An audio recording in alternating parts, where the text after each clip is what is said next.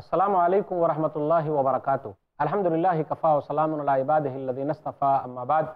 محترم ناظرین کرام، درس قرآن کی اس نشست میں آپ حضرات کا استقبال ہے۔ آج کی اس نشست میں سوران قبو سورہ نمبر انتیس میں آیت نمبر چودہ سے آیت نمبر چوالیس تک اکتیس آیتیں ہیں۔ اعوذ باللہ من الشیطان الرجیم، بسم اللہ الرحمن الرحیم۔ وَلَقَدْ أَرْسَلْنَا نُوحًا إِلَىٰ قَوْمِهِ فَلَبِثَ فِيهِمْ أَلْفَ سَنَةٍ إِلَّا خَمْسِينَ عَامًا فَأَخَذَهُمُ الطُّوفَانُ وَهُمْ ظَالِمُونَ۔ اور بلا شبہ ہم نے نوح کو ان کی قوم کی طرف بھیجا، تو وہ ان میں پچاس کم ایک ہزار سال رہے۔ پھر انہیں طوفان نے اس حال میں پکڑ لیا کہ وہ ظالم تھے۔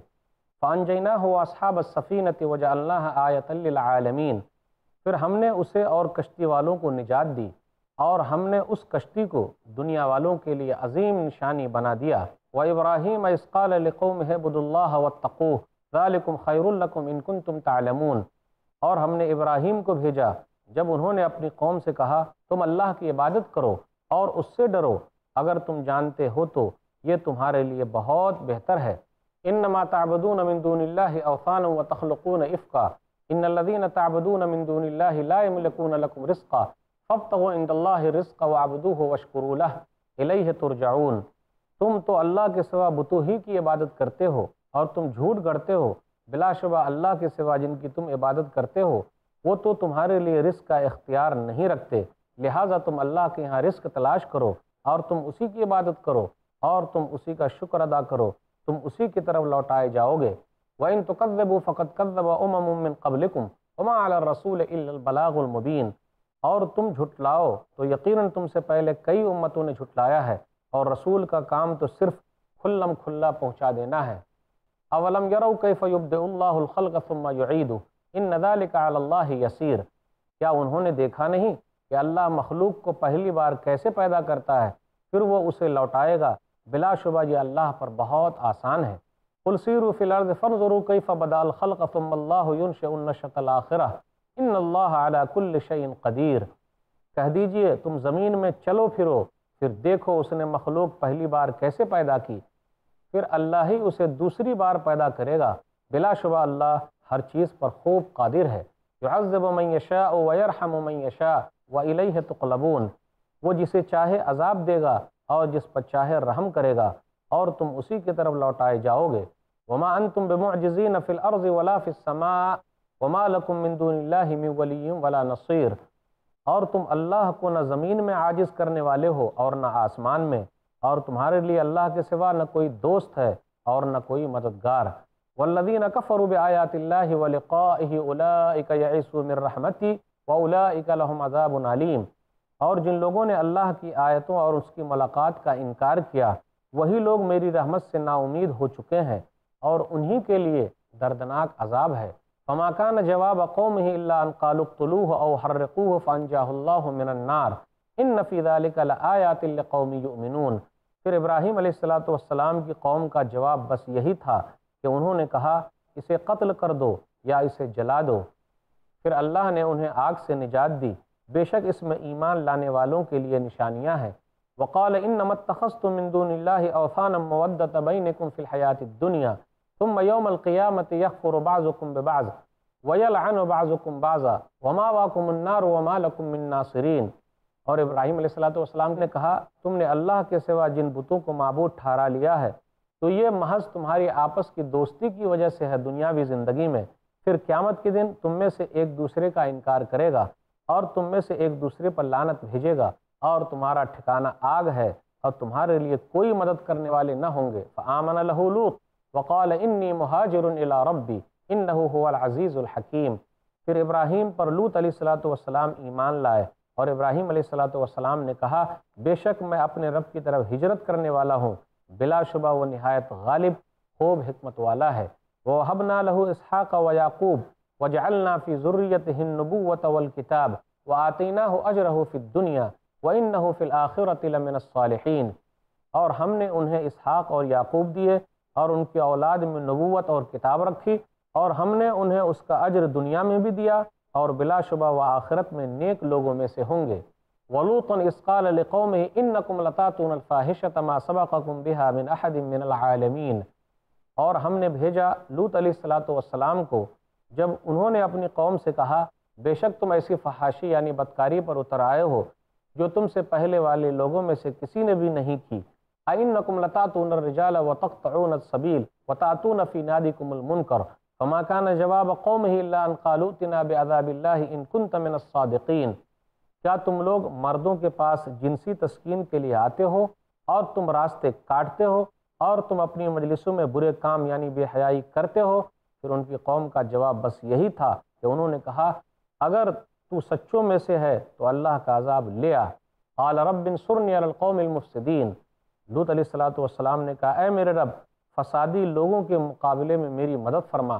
ولما جاءت رسلنا ابراہیم بالبشرى قالوا انا مهلك اهل هذه القريه ان اهلها كانوا ظالمین اور جب ہمارے قاصد یعنی فرشتے ابراہیم علیہ الصلوۃ والسلام کے پاس بشارت لے کر آئے تو انہوں نے کہا، بے شک ہم اس بستی یعنی صدوم والوں کو ہلاک کرنے والے ہیں، بلا شبہ اس بستی والے ظالم ہیں۔ قال ان فيها لوطا۔ قالوا، نحن اعلم بمن فيها لننجینہ واہلہ الا امراته كانت من الغابرین۔ ابراہیم علیہ الصلوۃ والسلام نے کہا، بے شک اس میں تو لوت بھی ہے۔ انہوں نے کہا، ہم خوب جانتے ہیں جو کوئی اس میں ہے۔ یقیناً ہم انہیں اور ان کے گھر والوں کو بچا لیں گے۔ سوائے ان کی بیوی کے وہ پیچھے رہ جانے والوں میں سے ہوگی۔ ولما ان جاءت رسلنا لوطا سیئ بهم وضاق بهم ذرعا وقالوا لا تخف ولا تحزن۔ انا منجوك واهلك الا امراتك كانت من الغابرین۔ اور جب ہمارے قاصد لوت علیہ السلام والسلام کے پاس آئے تو وہ ان کے آنے کی وجہ سے غمزدہ ہو گئے اور ان کی وجہ سے ان کا سینہ تنگ ہو گیا اور فرشتوں نے کہا، تم مت ڈرو اور غم مت کھاؤ۔ بلا شبہ ہم آپ کو اور آپ کے گھر والوں کو نجات دینے والے ہیں، سوائے آپ کی بیوی کے کہ وہ پیچھے رہ جانے والوں میں سے ہے۔ ان نامنزلون علی اہل هذه القریت رجزا من السماء بما كانوا يفسقون۔ بے شک ہم اس بستی والوں پر ان کے فسق کی وجہ سے آسمان سے عذاب نازل کرنے والے ہیں۔ وَلَقَدْ تَرَكْنَا مِنْهَا آیَةً بَيَّنَةً لِقَوْمِ يَعْقِلُونَ۔ اور بلا شبہ ہم نے اس بستی کو ان لوگوں کے لیے بطور کھلی نشانی چھوڑ رکھا ہے، جو عقل رکھتے ہیں۔ وَإِلَى مَدْيَنَ أَخَاهُمْ شُعَيْبًا۔ فَقَالَ يَا قَوْمِ اعْبُدُوا اللَّهَ وَارْجُوا الْيَوْمَ الْآخِرَ وَلَا تَعْثُوا فِي الْأَرْضِ مُفْسِدِينَ۔ اور ہم نے مدین کی طرف ان کے بھائی شعب علیہ الصلوۃ والسلام کو بھیجا۔ تو انہوں نے کہا، اے میری قوم، اللہ کی عبادت کرو اور آخرت کے دن کی امید رکھو اور تم زمین میں فساد کرتے نہ پھرو۔ فقط ضبو و فاخذت رچ فتفاس بہفی دار جاثمین پھر انہوں نے انہیں جھٹلایا تو انہیں زلزلے نے آ پکڑا۔ پھر وہ اپنے گھروں میں اودھے پڑے رہ گئے۔ وعاد و سمودا وقت تبین لکم من مساکنہم وزین لهم الشیطان اعمالہم فصدہم عن السبیل وکانوا مستبصرین اور قوم عاد اور قوم سمود کو بھی ہم نے ہلاک کیا۔ اور یہ بات تمہارے لیے ان کے تباہ شدہ گھروں سے یقیناً واضح ہو چکی ہے۔ اور شیطان نے ان کے اعمال ان کے لیے مزین کر دیے تھے۔ پھر اس نے انہیں سیدھی راہ سے روک دیا، حالانکہ وہ سمجھ بوجھ والے تھے۔ وقارون و فرعون و حامان، وَلَقَدْ جَاءَهُمْ مُوسَى بِالْبَيِّنَاتِ فَاسْتَكْبَرُوا فِي الْأَرْضِ وَمَا كَانُوا سَابِقِينَ۔ اور قارون اور فرعون اور حامان کو بھی ہلاک کر دیا اور بلا شبہ ان کے پاس موسیٰ کھلی نشانیاں لے کر آئے۔ پھر بھی انہوں نے زمین میں تکبر کیا اور وہ عذاب سے بچ کر نکل جانے والے نہ تھے۔ فَقُلَّنَا خَزْنَا بِزَنْبِهِ فَمِنْهُمْ مَنْ أَرْسَلْنَا عَلِيَ حَاسِبًا وَمِنْهُمْ مَنْ أَخَذَتْهُ السَّيْحَةُ وَمِنْهُمْ مَنْ خَسَفْنَا بِهِ الْأَرْضِ وَمِنْهُمْ مَنْ أَغْرَقْنَا وَمَا كَانَ اللَّهُ لِيَظْلِمَهُمْ وَلَكِنْ كَانُوا أَنفُسَهُمْ يَظْلِمُونَ۔ پھر ہم نے ہر ایک کو اس کے گناہ پر پکڑا، چنانچہ ان میں سے کوئی تو وہ تھے جن پر ہم نے پتھروں بھری آندھی بھیجی، اور ان میں سے کوئی وہ تھے جنہیں چنگھاڑ نے آ پکڑا، اور ان میں سے کوئی وہ تھے جنہیں ہم نے زمین میں دھسا دیا۔ اور ان میں سے کوئی وہ تھے جنہیں ہم نے ڈبو دیا اور اللہ ان پر ظلم کرنے والا نہیں تھا، بلکہ وہ خود ہی اپنے اوپر ظلم کرنے والے تھے۔ مسر الدین اتخذوا من دون اللہ اولیاء کا مسل العنکبوت، اتخذت بیتا وَإِنَّ أَوْحَنَ الْبُيُوتِ لَبَيْتُ الْأَنْكَبُوتِ لَوْ كَانُوا يَعْلَمُونَ ان لوگوں کی مثال جنہوں نے اللہ کے سوا کارساز بنائے، مکڑی کی سی ہے کہ اس نے ایک گھر بنایا اور بے شک گھروں میں سب سے کمزور مکری کا گھر ہے۔ کاش وہ جانتے ہوتے۔ ان اللہ یعلم ما يدعون من دونه من شيء وهو العزیز الحکیم۔ بلا شبہ اللہ جانتا ہے ان چیزوں کو جنہیں وہ اللہ کے سوا پکارتے ہیں اور وہ نہایت غالب، خوب حکمت والا ہے۔ وَتِلْكَ الْأَمْثَالُ نَضْرِبُهَا لِلنَّاسِ وَمَا يَعْقِلُهَا إِلَّا الْعَالِمُونَ۔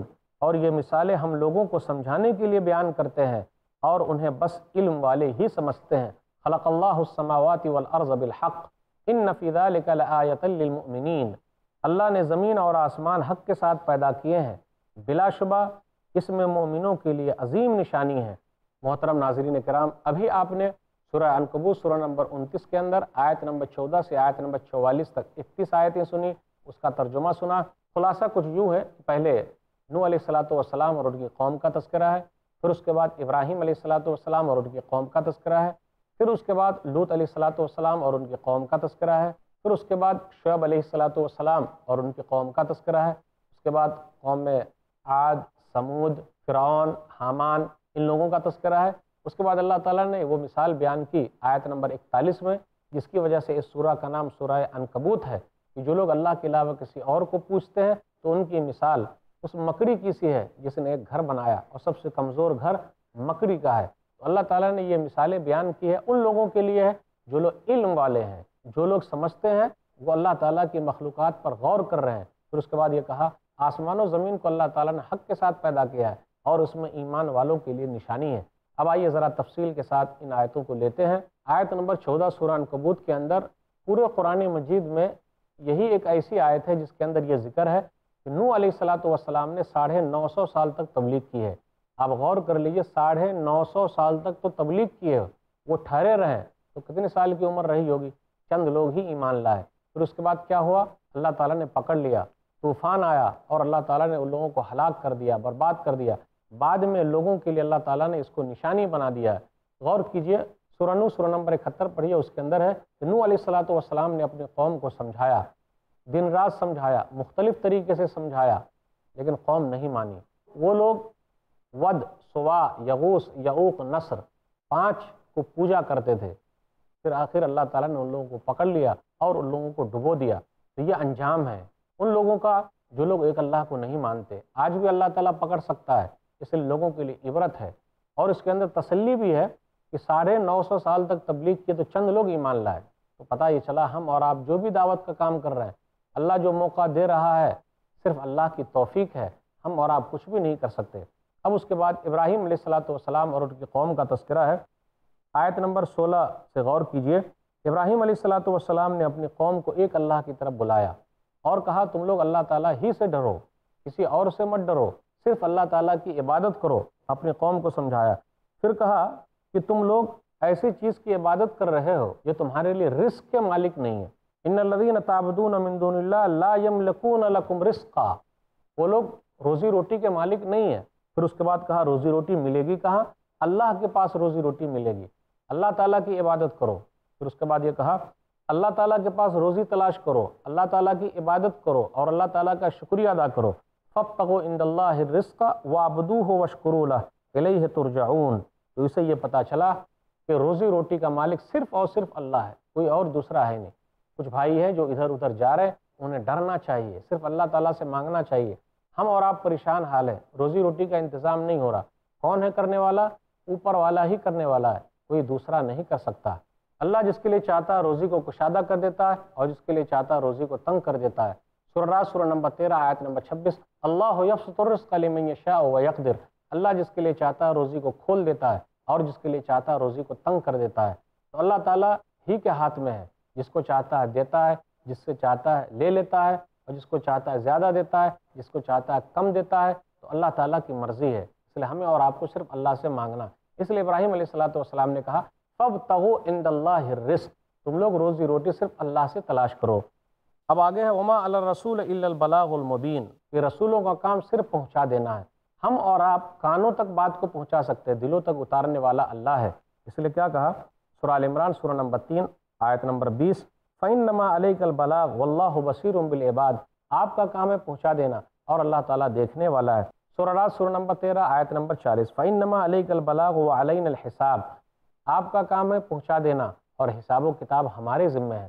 تو ہم اور آپ اللہ کا پیغام اللہ کے بندوں تک پہنچا سکتے ہیں، دلوں تک اتارنے والا اللہ ہے۔ آیت نمبر انیس سے آیت نمبر تیئیس کے درمیان غور کیجیے۔ حیات بعد الممات یعنی مرنے کے بعد زندگی ہے۔ اس کی دلیلیں دی گئی ہے اولم یرو کیف یبد اللہ الخلق ثم یعید ان ذالک علی اللہ یسیر۔ کیا ان لوگوں نے نہیں دیکھا؟ یہ اللہ کا انداز ہے۔ کیسے اللہ تعالیٰ نے پہلی مرتبہ پیدا کیا، دوبارہ اللہ پیدا کرے گا؟ جب ہم کچھ نہیں تھے تو اللہ تعالیٰ نے پیدا کیا، ہم لوگوں کو بنایا۔ تو اب دوبارہ اللہ کیوں نہیں بنا سکتا ہے؟ سورہ بروج، سورہ نمبر پچاسی، آیت نمبر بارہ و تیرہ ہے۔ ان نبت شرب بک شدید ان نو ہوا ہوا یعید بے شک آپ کے رب کی پکڑ بہت سخت ہے۔ اسی نے پہلی مرتبہ پیدا کیا، دوبارہ وہ لوٹانے والا ہے۔ تو یہاں دلیلیں دی جا رہی ہے کہ اللہ تعالیٰ کل قیامت کے دن سب لوگوں کو جمع کرنے والا ہے۔ سب لوگوں کو دوبارہ پیدا کرنے والا ہے۔ اس لیے لوگ مانتے کیوں نہیں؟ یہ کیوں کہتے ہیں؟ جب ہم مر جائیں گے، مٹی میں مل جائیں گے، تو کون ہے پیدا کرنے والا؟ ارے وہی جس نے پہلی مرتبہ پیدا کیا ہے۔ تو یہ حیات بادل ممات یعنی مرنے کے بعد کی جو زندگی ہے، اس کے بارے میں یہ چند دلیلیں ہیں۔ اس لیے کہا جاتا ہے کل سیر و فلرد فن ضرور کیف بدا الخل قسم اللہ یونش النشت الآخرہ ان اللہ علیہ کل شعین قدیر تم زمین میں چلو و پھرو، دیکھو کیسے اللہ تعالیٰ نے مخلوق کو پیدا کیا۔ پھر پہلی مرتبہ پیدا کیا تھا، پھر وہ دوبارہ وہی پیدا کرنے والا ہے اور اللہ تعالیٰ ہر چیز پر قادر ہے۔ پھر آگے کہا، اللہ جسے چاہے عذاب دے اور اللہ جس کو چاہے چھوڑ دے۔ اللہ جس پر چاہے رحم کرے اور اللہ تعالیٰ جس کو چاہے عذاب میں مبتلا کر دے۔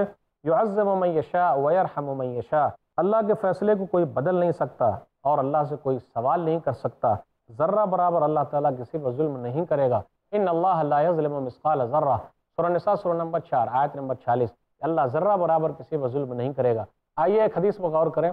اللہ کی رحمت جو ہے وہ لوگوں کے اعمال سے بہتر ہے۔ ہم اور آپ جو نیک عمل کرتے ہیں، اللہ کی رحمت ملنے کی امید ہے۔ کوئی یہ نہیں کہہ سکتا کہ اپنے عمل کے بلبوتے چلا جائے گا جنت میں، ایسا ہو نہیں سکتا۔ جب تک اللہ نہ چاہے، کوئی بھی آدمی جنت میں داخل نہیں ہو سکتا۔ تو اللہ جس پر چاہے رحم کرے اور اللہ تعالیٰ جس کو چاہے پکڑ لے۔ ایک حدیث ہے سنن نبی، داؤد کتاب السنہ کتاب نمبر انتالیس بابن فی القدر، حدیث نمبر چار ہزار چھ سو ننانوے۔ عبی بن قعب رضی اللہ تعالیٰ عنہ کہتے ہیں کہ رسول اللہ صلی اللہ علیہ وسلم نے ارشاد فرمایا، لو ان اللہ عذب اہل سماواته و اہل ارضه عذبهم وهو غیر ظالم لهم، ولو رحمهم كانت رحمته خيرا لهم من اعمالهم، ولو انفقت مثل احد ذهبا في سبيل الله ما قبله الله منك حتى تؤمن بالقدر۔ وتعلم ان ما اصابك لم يكن ليخطئك وان ما اخطاك لم يكن ليصيبك. ولو مت غیر هذا لدخلت النار. اگر اللہ تعالیٰ آسمان و زمین کے تمام لوگوں کو عذاب میں مبتلا کر دے تو اللہ تعالیٰ اس پر ظلم کرنے والا نہیں ہے، تو یہ ظلم نہیں ہوگا۔ اور اگر اللہ تعالیٰ رحم کرے ان پر تو یہ رحمت ان کے لیے، ان کے اعمال سے بہتر ہے۔ اگر تم اہد پہاڑ کے برابر بھی سونا خرچ کرو تو اللہ تعالیٰ تم سے قبول نہیں کرے گا۔ جب تک کہ تم تقدیر پر ایمان نہ لے آؤ اور تم جان لو، تم کو جو بھی تکلیف پہنچتی ہے، یہ مت کہو کہ تمہاری غلطی کی وجہ سے ہے۔ اور تم جو بھی غلطی کر رہے ہو، یہ مت کہو کہ اگر غلطی نہ کرتے تو تکلیف نہیں پہنچتی۔ جی نہیں، یہ سب چیزیں لکھی ہوئی ہے اور اگر تم اس کے علاوہ پر مرے، تو جہنم میں داخل ہوگے۔ تو اس سے یہ پتہ چلا کہ اللہ تعالیٰ اگر رحم فرمائے، اللہ کی رحمت اعمال سے بہتر ہے۔ اس کے بعد یہ کہا گیا، کل قیامت کے دن کافروں کو اللہ کی رحمت نہیں ملے گی۔ اولا ایک یسو مر رحمتی، کہ وہ لوگ میری رحمت سے مایوس ہو گئے ہیں۔ آیت نمبر چوبیس اور پچیس پر غور کیجیے۔ ابراہیم علیہ السلاۃ والسلام کی قوم کا جواب تھا اللہ ان قالق طلوع اور ہر رقو ان کو قتل کر دو اور ان کو جلا دو۔ تو بالآخر کیا کیا؟ قوم نے ابراہیم علیہ السلاۃ والسلام کو آگ میں پھینکا۔ اللہ تعالیٰ نے آگ سے کیا کہا؟ سرانبیہ سر نمبر اکیس، آیت نمبر انہتر۔ قلنا یانا رکونی بردوں و سلام علیہ ابراہیم۔ ہم نے کہا، اے آگ، تو ابراہیم کے لیے ٹھنڈی ہو جا اور سلامتی والی ہو جا۔ صرف ٹھنڈی بھی ہو جاتی تو نقصان ہو سکتا تھا۔ اس لیے کہا، سلامتی والی ہو جا۔ اب دیکھا آپ نے کس طریقے سے آگ میں گئے اور اللہ تعالیٰ نے بچا لیا۔ آگ کا کام ہے جلانا، لیکن آگ نے ابراہیم علیہ السلاۃ والسلام کو نہیں جلایا۔ تو ایمان والوں کو آگ میں پھینکا جاتا ہے، ڈالا جاتا ہے۔ جس کا ایمان جتنا مضبوط ہے، اللہ تعالیٰ ان کو اتنے بڑے انعام سے نوازتا ہے۔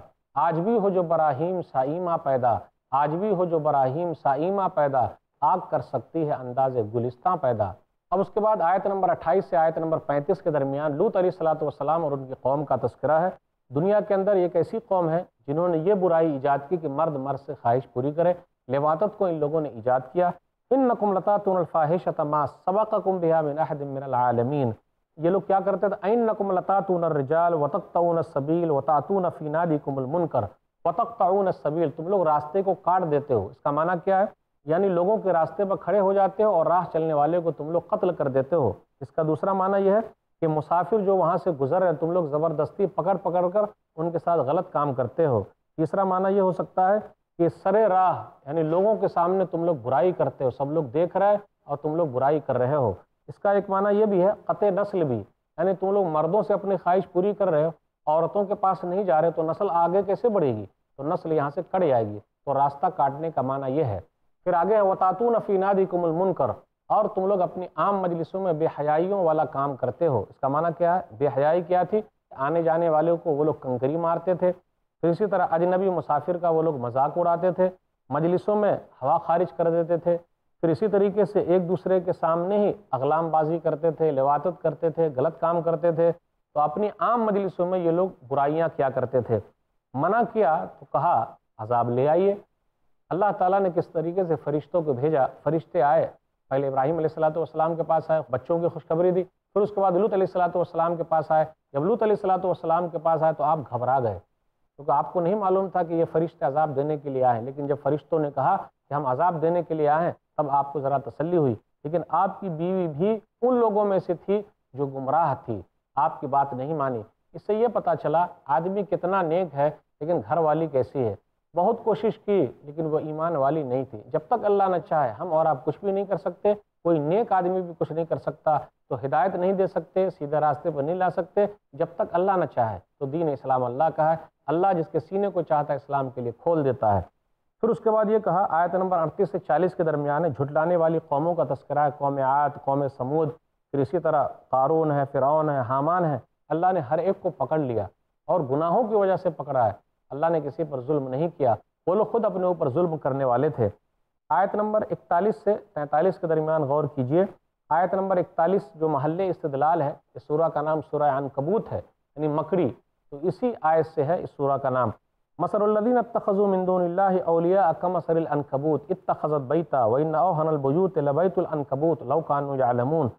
جو لوگ اللہ کے علاوہ کسی اور کو مددگار بنائے ہوئے ہیں، اس کی مثال اس مکری کسی ہے جس نے ایک گھر بنایا اور سب سے کمزور گھر مکری کا ہے۔ پھر اس کے بعد یہ کہا، کاش کے لوگ جانتے۔ تو یہاں غور و فکر کرتے، دیکھتے، تب پتہ چلتا۔ پھر اس کے بعد یہ کہا گیا، اس میں علماء کی فضیلت آگے بیان کی جا رہی ہے۔ وطل کا لمسال و نظر بحال الناس وما یا العالمون۔ اور یہ مثالیں ہم نے لوگوں کے لیے بیان کی ہے اور اس کو عالم لوگ، جانکار لوگ ہی سمجھ سکتے ہیں۔ جو لوگ جانکار ہیں، وہ یہ سمجھیں، غور کریں مکڑی کو دیکھیں، کس طریقے سے گھر بناتی ہے۔ اگر اس پر غور کر لیں تو پتہ چل جائے گا۔ اللہ کے علاوہ جس کو پوچھ رہے ہیں یہ لوگ، ان کی حیثیت کچھ بھی نہیں ہے۔ اس مکری کے گھر کی طرح ہے، جو فوراً ختم ہو جائے، ٹوٹ جائے۔ مضبوط سہارا تھوڑا نا ہے مضبوط سہارا صرف اوپر والے کا ہے۔ اوپر والے کا مضبوط سہارا لیجیے۔ اس لیے مثال دے دے کر توحید کو بتایا جا رہا ہے اور شرک سے دور رہنے کے لیے کہا جا رہا ہے۔ علماء جانتے ہیں، علماء ہی فائدہ اٹھا رہے ہیں۔ اس لیے کہا، اللہ تعالیٰ نے آسمان و زمین کو جب پیدا کیا تو حق کے ساتھ پیدا کیا، بیکار نہیں پیدا کر دیا۔ دنیا کے اندر جتنی بھی چیزیں ہیں بیکار نہیں ہیں۔ جب دنیا کی چیزیں بیکار نہیں ہیں تو ہم اور آپ بیکار کیسے ہیں؟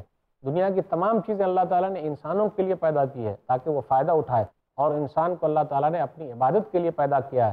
تو آسمان و زمین کو اللہ تعالیٰ نے حق کے ساتھ پیدا کیا۔ اس کے بعد کہا، ان نفیز علیہ للمؤمنین بے شک اس کے اندر ایمان والوں کے لیے نشانی ہے۔ جو لوگ غور و فکر کرتے ہیں، وہ ایک اللہ کو پال لیتے ہیں۔